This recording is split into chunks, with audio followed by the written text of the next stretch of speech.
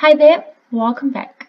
Let us draw a force as a vector on a Cartesian plane originating at the origin, given that F1 is 1.5 in the positive x direction and F2 will be 2 Newton in the positive y direction. The first thing to do is to draw a Cartesian plane.